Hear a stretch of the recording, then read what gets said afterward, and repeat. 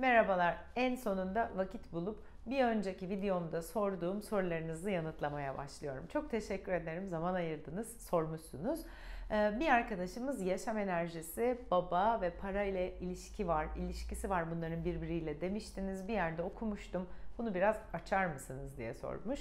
Ee, bu videoya sığdırabildiğim kadarından bahsetmek istiyorum. Ama özellikle her şeyin her şeyle en çok da mutlulukla ilişkisi var diye bir kitap yazdım. Burada çok detaylı anlattım. Detayını oradan okuyabilirsiniz. Evet, yaşamın içinde e, pek çok şeyi öğreniyoruz. Bağ kırma modelini, bağlanmayı ve herhangi bir durum ya da konuyla ilgili inanç ve değer yargıları geliştirmeyi öğreniyoruz. Önce anne babamızdan sonra sosyalizasyon sürecinden ve bazı atıflar birbiriyle e, iz düşüm halinde. Babaya yüklediğimiz anlam her neyse. Yani içinizden baba figürü dediğinde geçen ilk beş cümleniz her neyse. Vardır ama yoktur. Kapı gibidir, dağ gibidir, güvenilirdir, her zaman oradadır. Oradadır ama sevgisini çok göstermez. Ee, olmasa da olur. Lanet olsun böyle babaya. Ee, bunun gibi içinizden geçen cümlelere bir bakın. Bir 3-5 saniye durun ve baba deyince içinizden ne geçiyor ona bakın.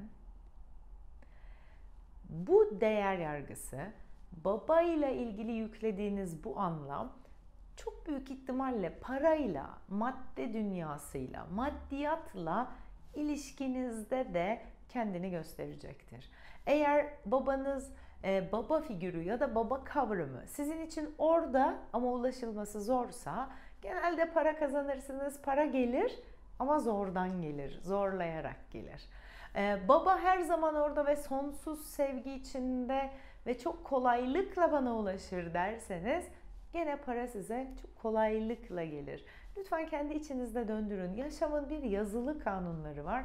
Bir de yazılı olmayan tekrar eden, kendini farklı şekillerde, farklı sembollerde, e, e, farklı duygu ve durumlara yüklediğimiz anlamlarla gösteren, tekrar eden e, yargılar şeklinde ortaya çıkan bölümü var.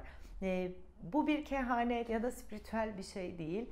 Bu bir bağlanma modeli. Neden böyle diyorum? Çünkü baba figürü, eril enerji ve para, maddi hayat, madde dünyası eril enerjinin bir iz düşümü.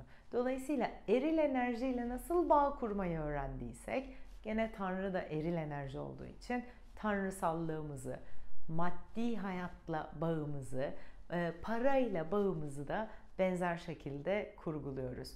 Peki Müge bu değiştirilebilir mi? Elbette değiştirilebilir. Hayat dediğimiz şey zaten o gün ve orada öğrendiğimiz bugün ve burada artık işe yaramayan değer yargılarını daha geniş, daha işlevsel ve daha kapsayıcı bir boyuta geç, geçirme hali.